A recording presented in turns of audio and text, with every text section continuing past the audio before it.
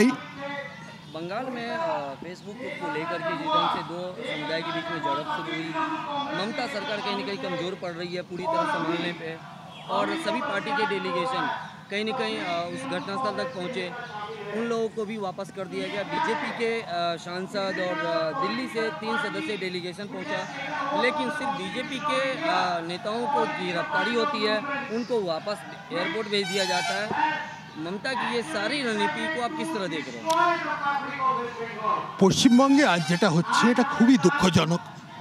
পশ্চিমবঙ্গে এটা যদি একটা ফেসবুক পোস্টের কারণে যদি আজকে একটা এত বড় দাঙ্গা হয়, সেটা কি প্রশাসন জানতো না যে হচ্ছে প্রশাসন দিন দিন কেন ঘুমিয়েছিল? প্রশাসন কেন তাদের নিজেদের এমএলএরা এসে কেন শুধু একই একটা সম্প্রদায়ের লোকের বিরুদ্ধে কাজ নিয়েছে। এটা তো এই ধরনের ভোট ব্যাঙ্ক পলিটিক্স, এর পরিণাম খুবই ডেঞ্জারাস হতে পারে। আজকে আমরা দেখেছিলাম কদিন আগে যে কালিয়াচাকে যেটা হয়েছিল, একটা ছোট ব্যাপারটা নিয়ে তার সঙ্গে কত রকম জিনিস মিশে গেছিল। তো আজকে এই একটা বর্ডার ডিস্ট্রিক্টে যা হচ্ছে, তা এটা তো অ্যাডমিনিস্ট্রেশনের তো করাই উচিত, কঠোর ব্যবস্থা। কিন্তু সব থেকে বড় এই আজকে চিন্তার ব্যাপার হচ্ছে যে এই ছোট ছোট ব্যাপারটা আজকে পশ্চিমবঙ্গে দুটো সম্প্রদায়ের মধ্যে যে একটা রিলেশনশিপ ছিল, সেটা একদম খুবই মানে টেন্স হয়ে দাঁড়াচ্ছে। এই, এইটার মধ্যে একটা লং টার্ম একটা খুব প্রবলেম হবে। এটা হতে পারে না যদি একটা সম্প্রদায় মনে করে, আর সে মেজরিটি সম্প্রদায় মনে করে যে তাদের বিরুদ্ধে একটা অর্গানাইজ ডিসক্রিমিনেশন হচ্ছে। আপনি টেলিভিশনে দেখবেন যে যারা ওখানে প্রতিবাদ করছে বসিরহাটে, তারা বলছে যে, এই অ্যাডমিনিস্ট্রেশন আমাদের জন্য কিছু করবে না। এ তো শুধু একই সম্প্রদায়ের জন্য, আমি নাম ফাম করছি না।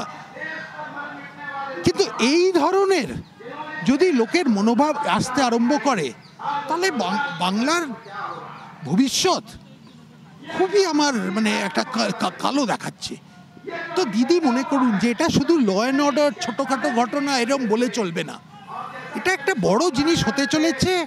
একটু দেখুন, এটা ছোটোখাটো ভোট ব্যাংক রাজনীতির চেয়ে বড়।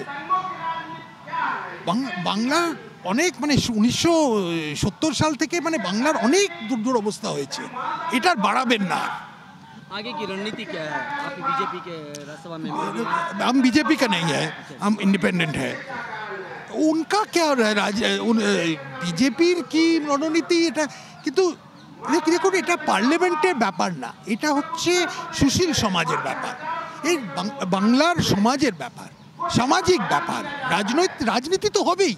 সে লোকে বলবে এই ওই। কিন্তু রাজনীতির ব্যাপার না এটা। এটা কেন হচ্ছে? সে বিষয়টা দেখতে হবে যে কি কারণে এটা হতে চলেছে।